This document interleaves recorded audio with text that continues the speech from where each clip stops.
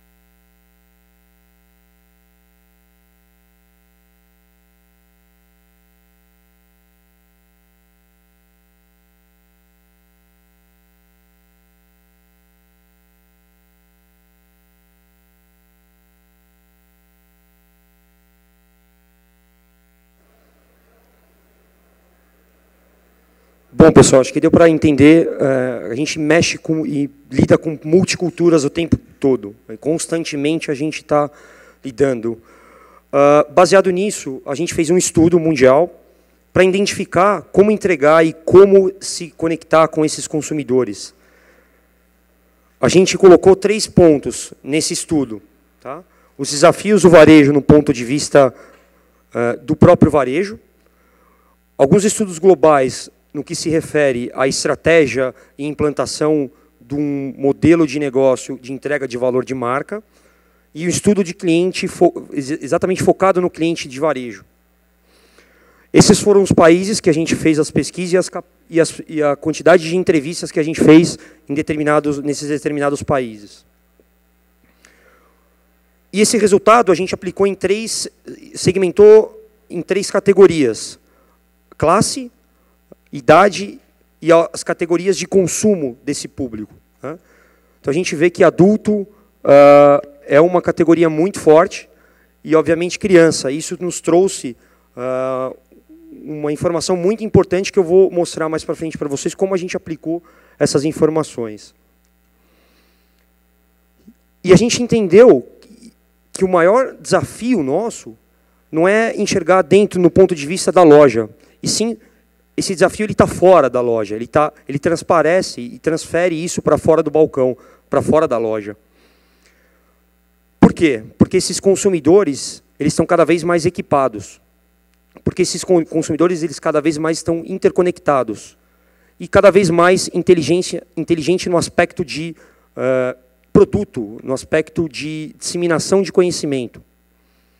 Equipados através de múltiplos, múltiplas tecnologias, então hoje a gente está no dispositivo móvel, a gente está no tablet, a gente está na web, okay? e sempre conectado uh, full time, instantaneamente bem informado. Qualquer informação que a gente quer saber hoje de produto, a gente joga no Google e a gente consegue pegar essa informação e trazer isso rapidamente. Os outros consumidores, eles estão cada vez mais, o consumidor está inter, interconectado com o próprio outro consumidor e pedindo recomendações de produto, enfim. E a gente sabe que 90% de uma aquisição, se ela é feita através de um amigo ou ela é recomendada por um amigo, 90% de chance de você é, de você efetivamente fazer a compra. E as opiniões cada vez mais compartilhadas. E no ponto de vista da inteligência, os, os consumidores estão conhecendo mais os nossos produtos, eles têm altas expectativas em cima dos produtos e das tecnologias aplicadas nesses produtos, e ele conhece de uma forma a reputação da marca. O que eu quero dizer com isso, pessoal? Que os consumidores eles estão cada vez mais dizendo em qual futuro e qual é o nosso futuro, para onde a gente deve seguir, né?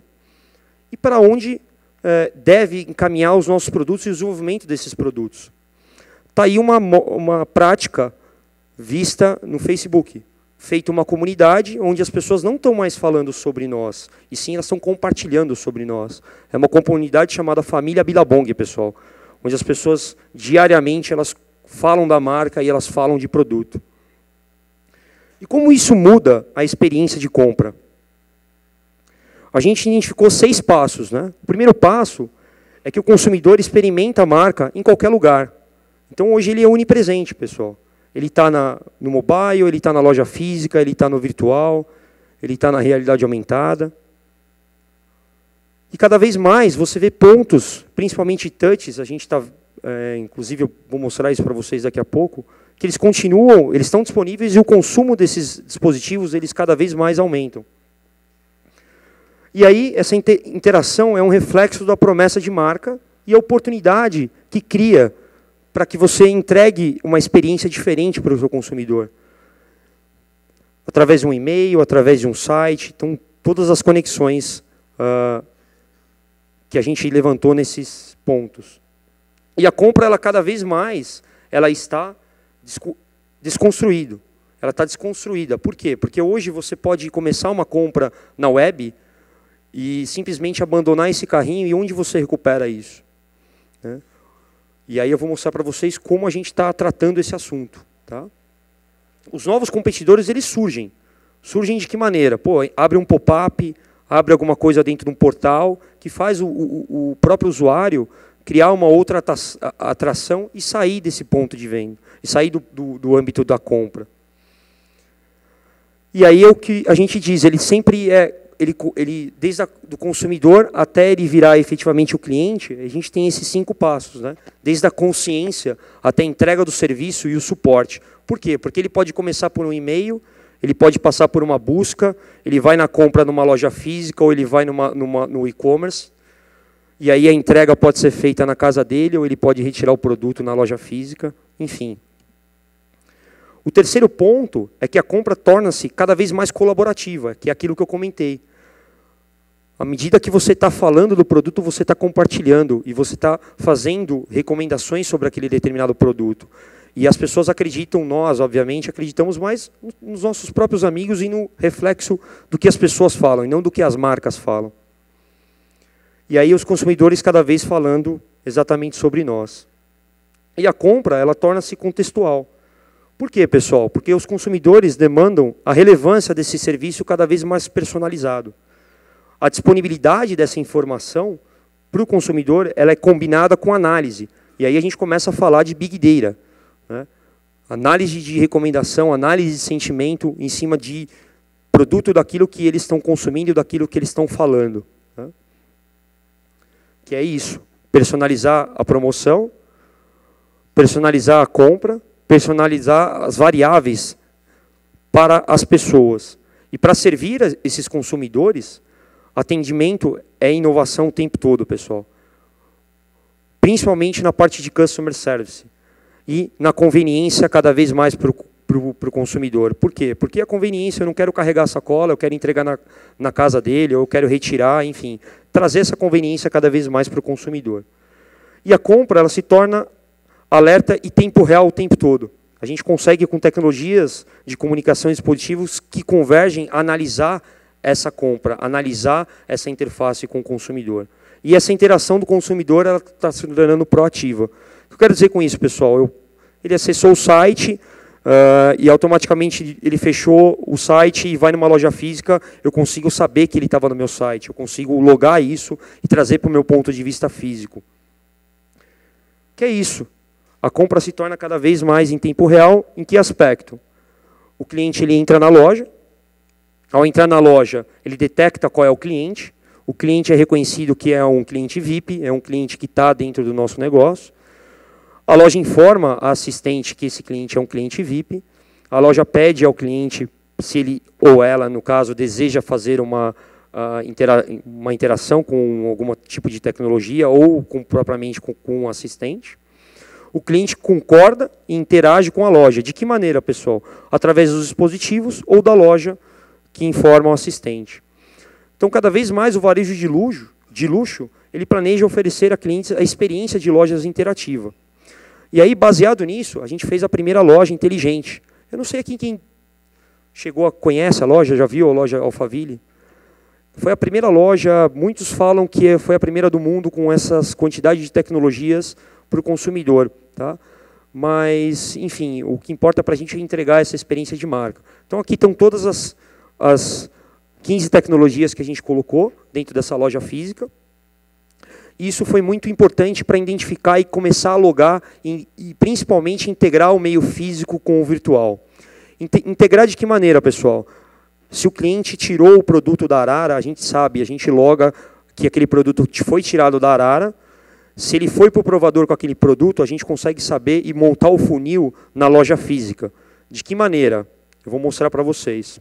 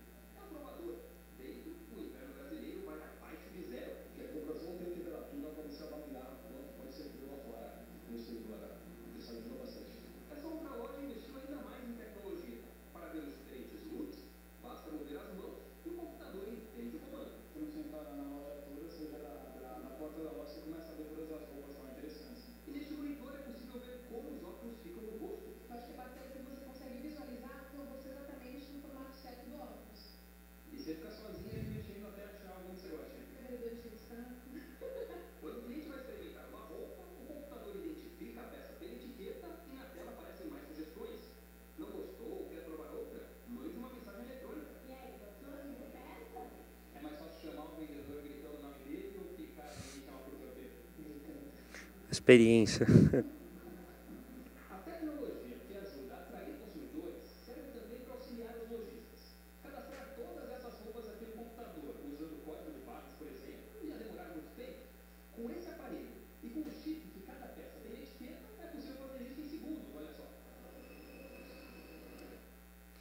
Então, pessoal, essa foi uma loja, a gente integrou isso e aí a gente expandiu.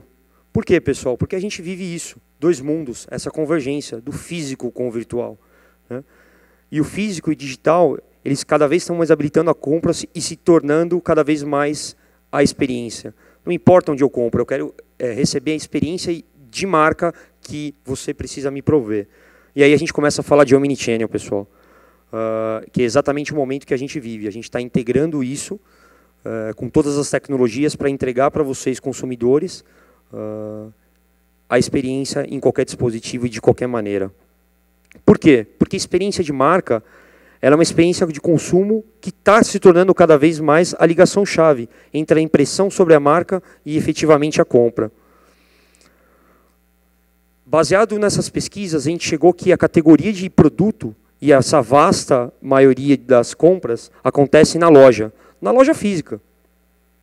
Mas 80% dessa, desse, desse consumo na loja física, eles escolhem apenas a metade volta para a loja física.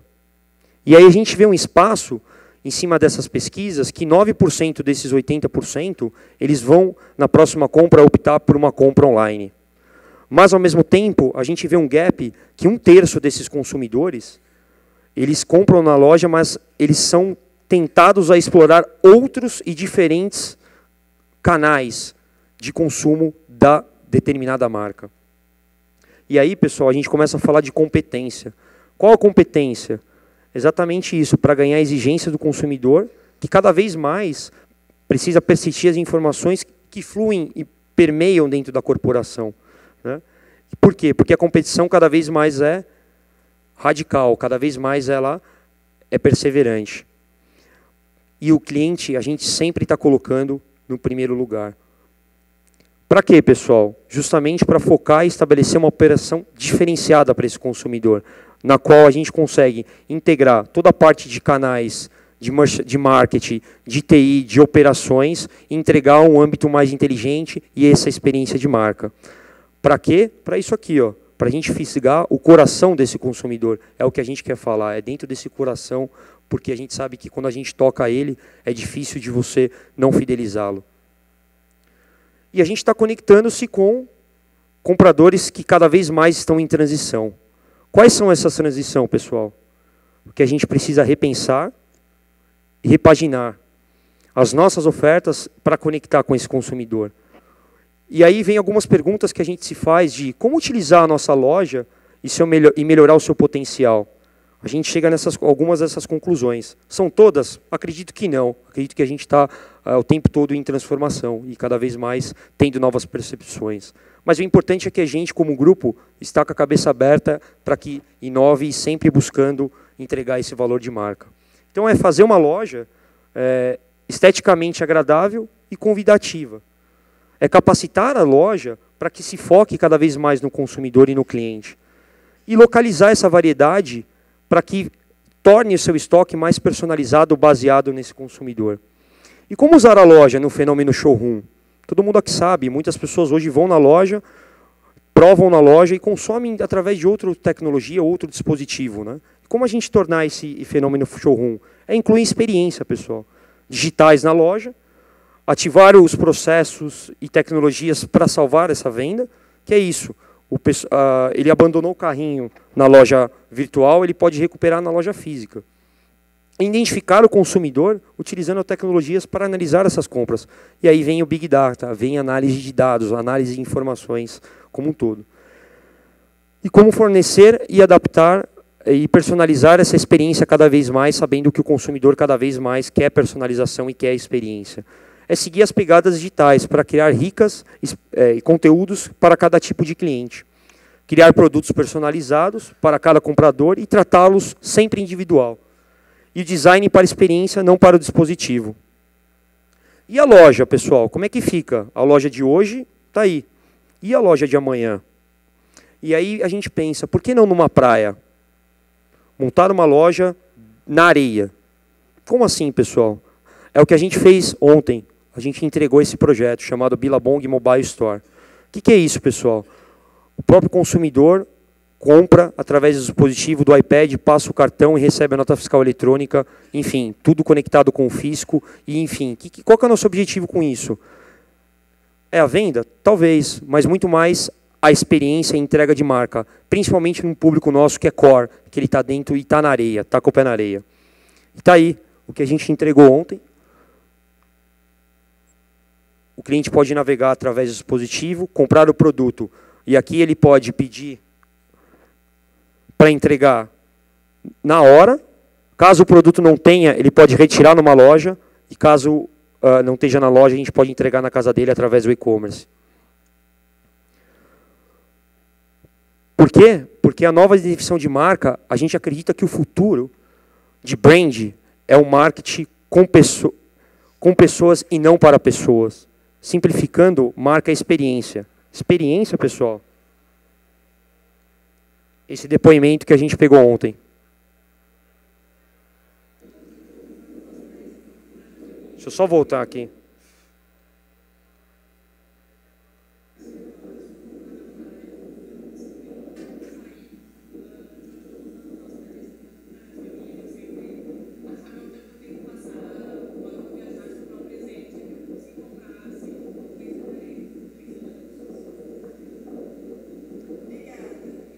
Desculpa o som, mas enfim, ela adorou. Mas aí a gente tem um caso que a pessoa é isso que é identificar o consumidor, né, pessoal? Como uma marca que prega o esporte é, quer cada vez mais entregar a conveniência. Vocês precisam fazer que as pessoas vão às lojas e façam exercícios. Esse foi o depoimento do usuário. A gente tem que respeitar, para isso que a gente habilita, não só na, no meio provincia venda no, no ato, mas você pode caminhar para uma loja. E aí, pessoal, essa é a experiência que eu queria compartilhar com vocês. E muito obrigado e bem-vindos ao Billabong, o que a gente chama aí de Emotion. Obrigado, pessoal.